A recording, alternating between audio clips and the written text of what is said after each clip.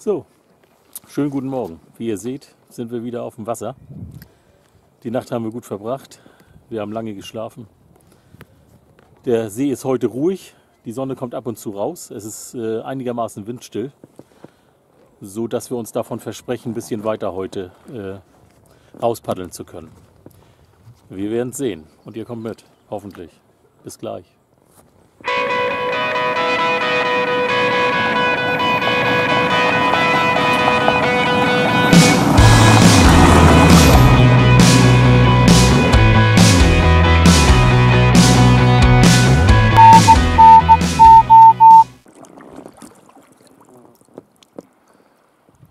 Kleines Windspiel auf dem Wasser, ne? Ja, aber eindeutig um Felsen zu markieren.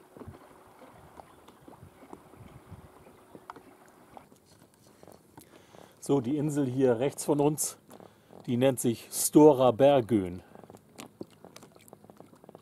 Was ich wieder so faszinierend finde, das sind hier so die, die Felsen, die dann so reinragen ins Wasser. Teilweise kann man bis auf den Grund gucken. Das ist wirklich herrlich.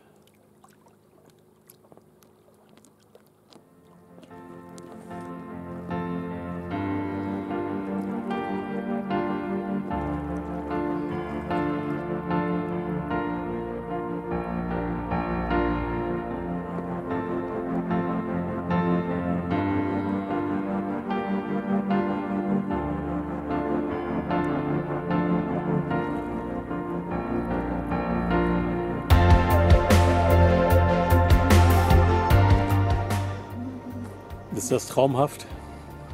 Das ist doch herrlich, oder? Diese Einzigartigkeit von Natur.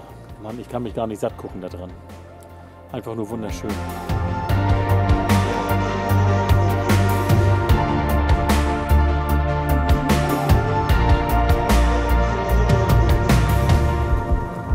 So, und wir kriegen wieder Besuch.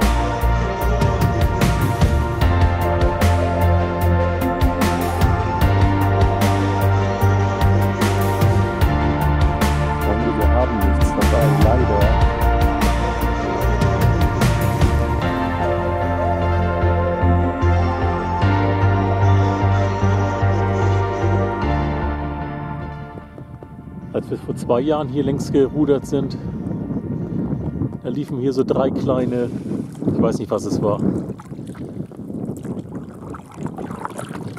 Wiesel, Marder, die liefen hier über die Steine.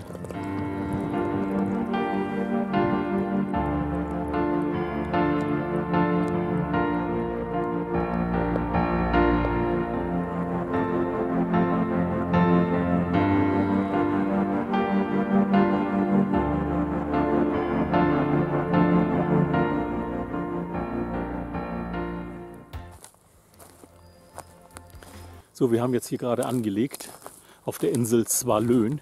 Das ist eine ziemlich große Insel, die auch, äh, wie ihr schon gesehen habt, richtig schöne kleine Buchten hat. Und hier oben, hier gibt es noch einen riesengroßen Felsen, an dem werden wir hoffentlich gleich noch dran vorbeischippern.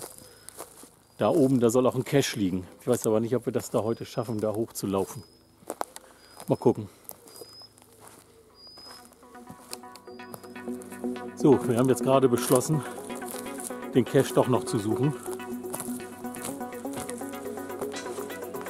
Unser Boot haben wir erstmal an Land gebracht, sodass das nicht wegschwimmen kann.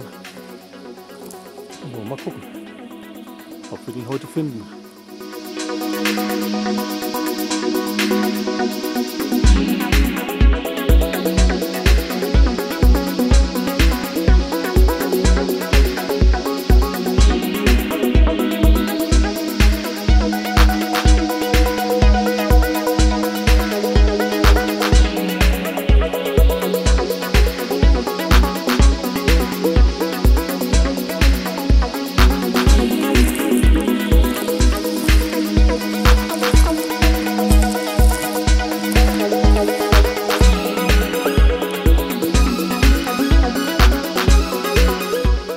Du schon wieder was gefunden?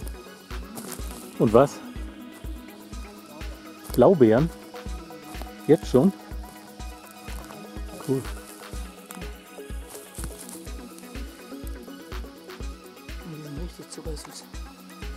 Die ja.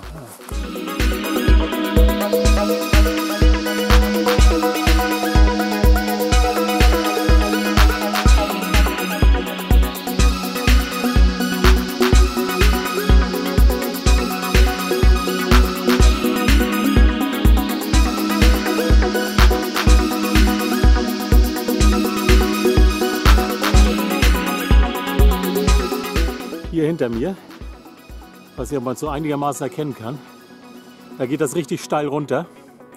Und da werden wir hoffentlich gleich noch mit dem Kanu, äh, mit dem Kajak rumfahren.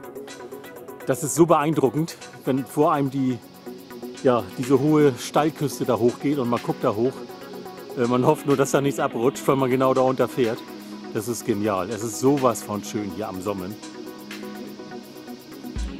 Wieder mal ohne Worte. Das muss man einfach auf sich wirken lassen. Heute ist ein bisschen starker Motorverkehr hier auf dem Wasser mit Motorbooten. Ich habe auch den Eindruck, die nehmen da relativ wenig Rücksicht drauf, ob man da paddelt oder nicht. Aber gut, sei es drum. Wir lassen uns den Spaß nicht verderben. Ne? Und jetzt suchen wir den Cash weiter. Aber ich glaube, Zu spät. ja, Uschi hat schon Fund gemeldet. Und da ist er. Ah, Super. Dann wollen wir uns mal eintragen, ne?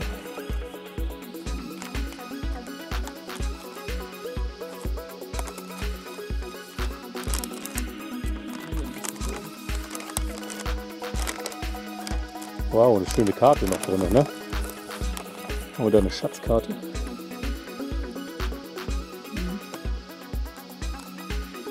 Und genau hier unter mir. Das ist die Klippe, die ich meine. Da werden wir gleich noch mal längs paddeln. Ich mag gar nicht runter gucken.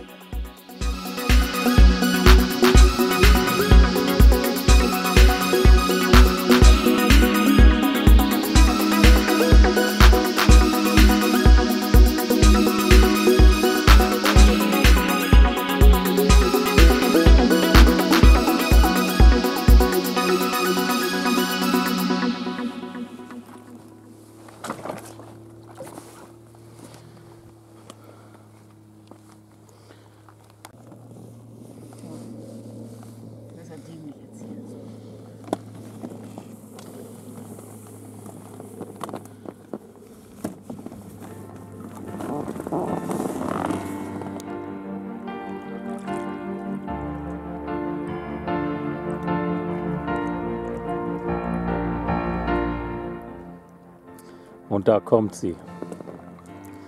Die Stallwand, von der ich erzählt habe. Und da oben waren wir drauf.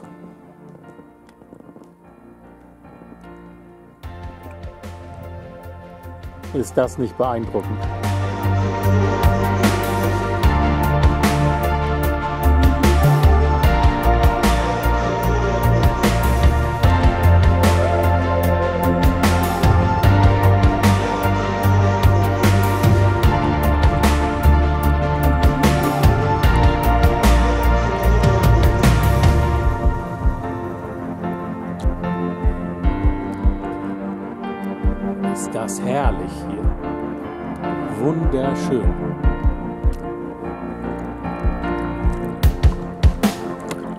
Wunderschön.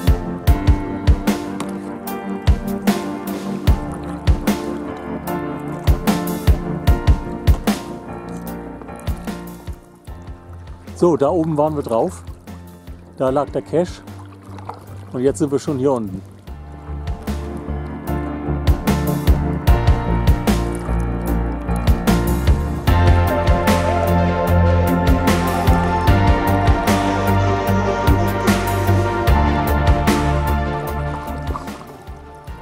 Schon ein ziemlich ungewöhnliches Gefühl, wenn man hier unter durchpaddelt.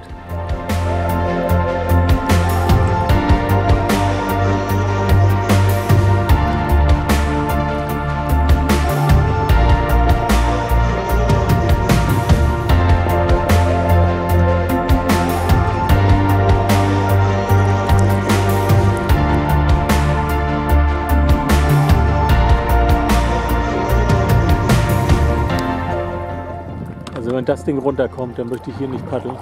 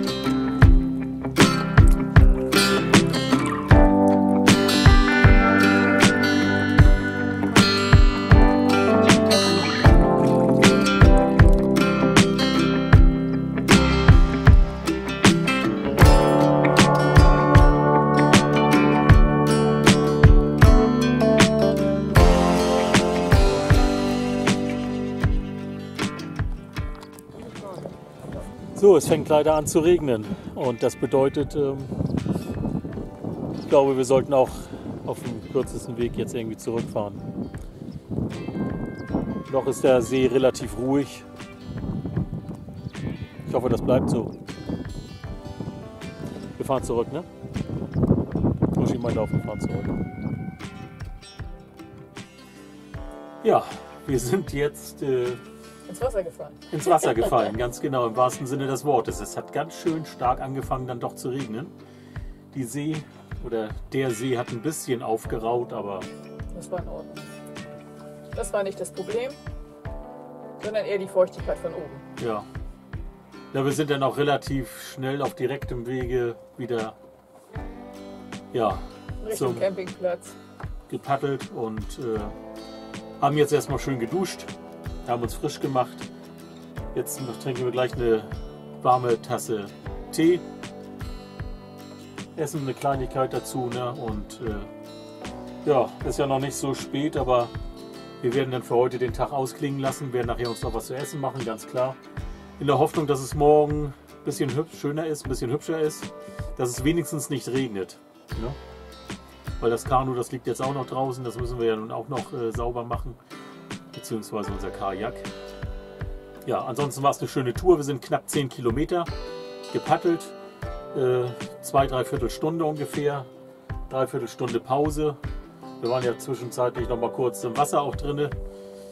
Äh, zumindest bin ich einmal bis zum bis zur Brust äh, äh, eingetaucht. Das hat mir dann aber auch gereicht. Das war äh, sehr erfrischend, möchte ich mal so äh, betiteln, ja, als Norddeutscher. Es war frisch. Ja, war ein schöner Tag. Ne? Wir sehen uns, denke ich, morgen wieder. Bis dann. Tschüss. Tschüss.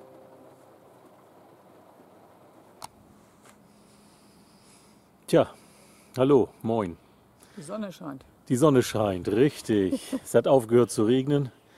Wir haben jetzt äh, unser Kajak eingepackt, trocknen lassen.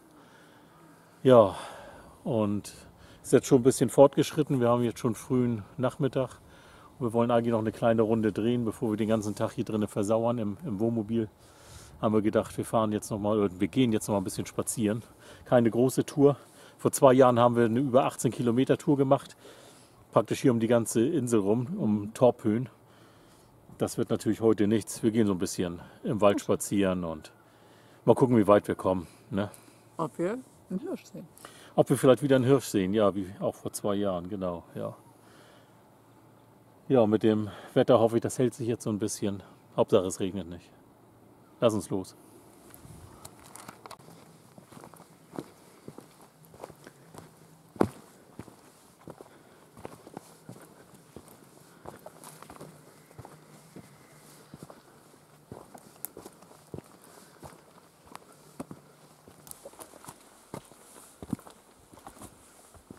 Bei diesem feuchtwarmen Wetter, da wimmelt das natürlich nur so voll Mücken. Aber wir haben uns hier in der schwedischen Apotheke was rausgeholt oder informiert und äh, die hat uns hier ein Produkt empfohlen und damit haben wir uns jetzt erstmal eingesprüht. Ich hoffe, das wissen die Mücken auch. Es scheint zu wirken.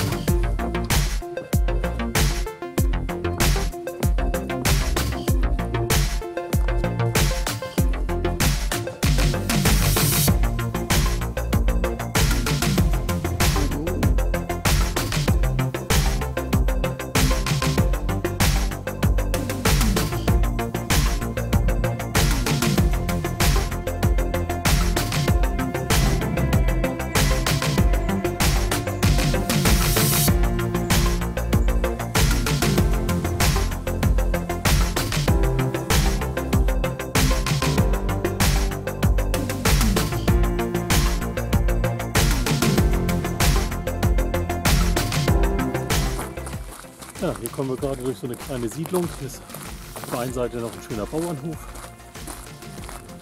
Und die haben alle einen fantastischen Ausblick auf den See. Jetzt müssen wir erst mal gucken, wo wir längs müssen. Ich glaube hier links.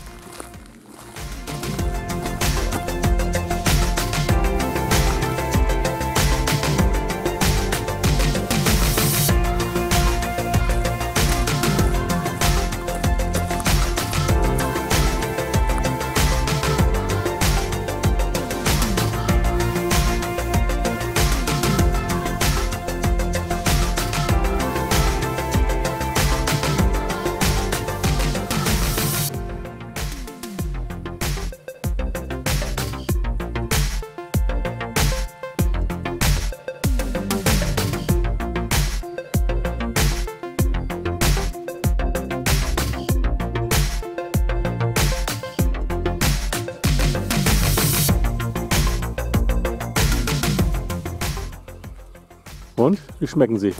Gut. Ja, schön süß? Ja.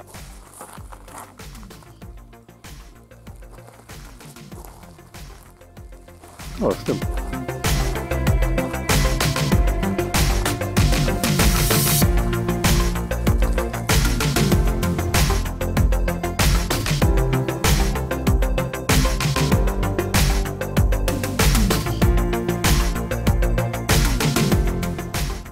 So, und genau gegenüber ist wieder die Insel Zwalön,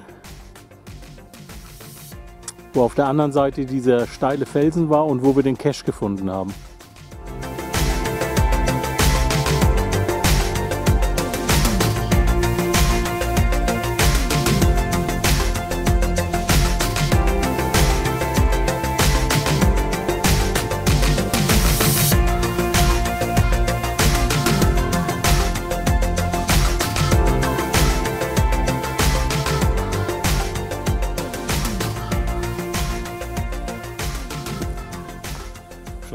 Sehr beeindruckend, hier durch den Wald zu laufen, weil es immer wieder neue Eindrücke gibt. Ein ganz neues Farbenspiel, wenn die Sonne so rauskommt. Das ist wirklich Natur pur. Und wir sind hier mal wieder ganz alleine. Das heißt, keine Menschenseele weit und breit. Schon schön. Und teilweise auch dieser Duft, der rüberkommt. Oh, es ist herrlich.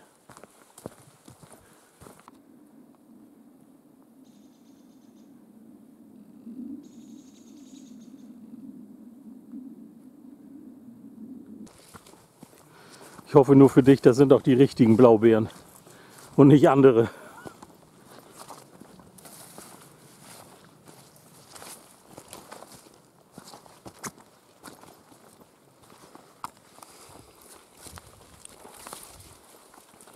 Schmeckt gut.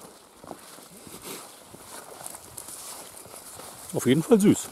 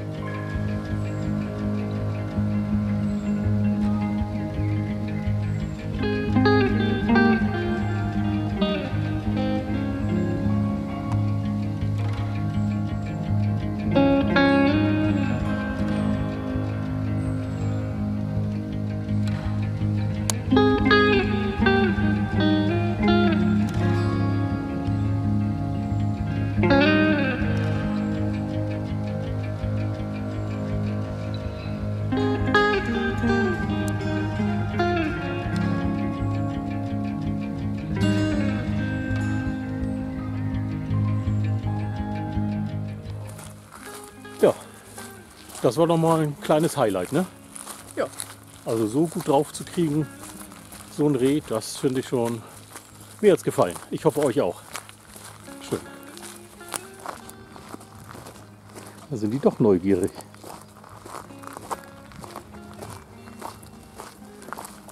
Ja, ich hab nichts für euch, du. Hier, da guckt ihr, ne? Tja, wir wollen hier nur längs gehen, du. Aber ihr versteht uns gar nicht, ne?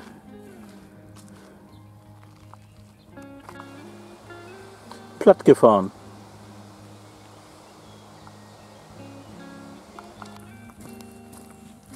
Ja, wir sind jetzt auch über 11,5 Kilometer schon unterwegs. Es ist aber abzusehen, der Campingplatz. Wir haben uns jetzt zu entschlossen, nicht mehr die Straße zurückzulaufen, sondern doch wieder durch den Wald. Das ist einfach bequemer, auch für die Füße. Und ja, bis jetzt schon drei Stunden unterwegs. Nachher am Reisemobil gibt es noch mal eine kleine Zusammenfassung der Tour. Ne?